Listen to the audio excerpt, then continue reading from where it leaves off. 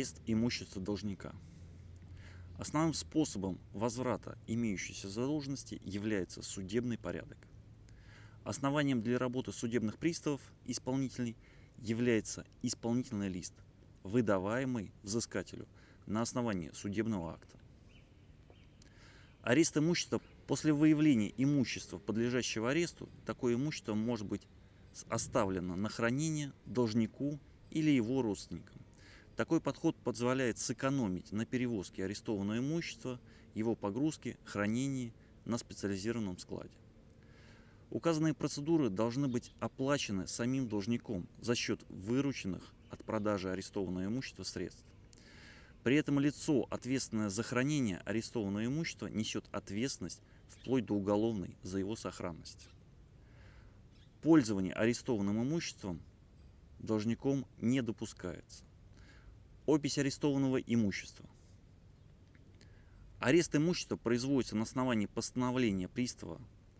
Пристав-исполнитель прибывает в место хранения имущества должника и составляет опись ареста. Такая опись должна содержать дату составления и номер исполнительного производства. Указание о том, присутствует ли сам должник или его родственники при составлении описи. Присутствие должника не требуется, так как судебный акт дает право приставам заходить в помещение без разрешения должника. Перечень описываемых предметов с детальным описанием. Оценочная стоимость. Информация о понятых. Постановление, запрещающее эксплуатацию арестованного имущества. Информация об условиях хранения описанного имущества.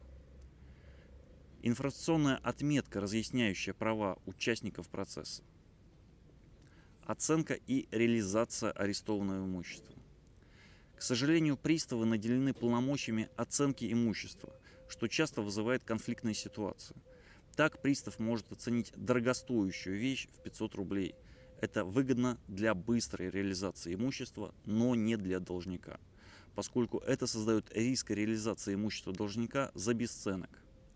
Такое расхождение в стоимости может стать основанием для обращения должника в суд – с целью установления оценочной стоимости на такое имущество.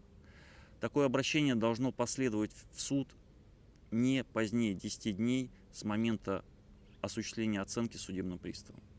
Когда срок хранения арестованного имущества заканчивается, его выставляют на торги. В процессе продажи имущество часто находится у должника, который имеет право первым его выкупить. Если имущество так и не продается в течение определенного времени, его оставляют должнику.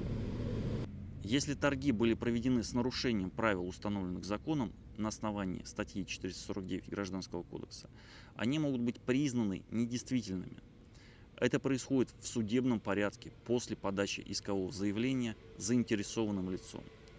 К примеру, проведение торгов произошло до объявленного срока или в ходе проведения торгов могло быть допущено злоупотребление со стороны судебного исполнителя, залогодержателя или покупателя.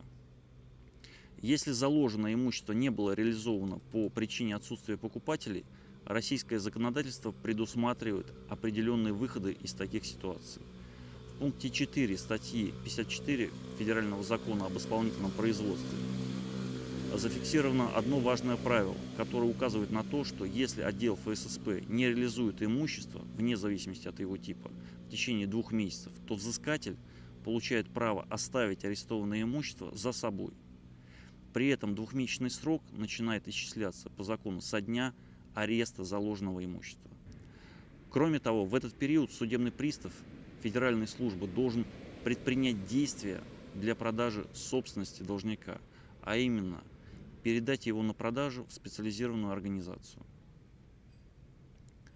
Ставьте лайки и подписывайтесь на наш канал, и тогда все будет хорошо.